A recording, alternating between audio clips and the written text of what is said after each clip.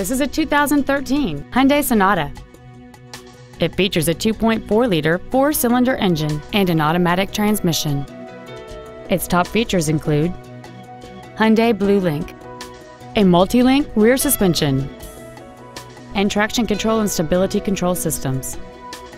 The following features are also included a low tire pressure indicator, cruise control, an auto-dimming rearview mirror, 12-volt power outlets, side curtain airbags, a rear window defroster, chrome window trim, rear impact crumple zones, solar control glass, and this vehicle has fewer than 39,000 miles on the odometer. With an EPA estimated rating of 35 miles per gallon on the highway, fuel efficiency does not take a backseat. We invite you to contact us today to learn more about this vehicle.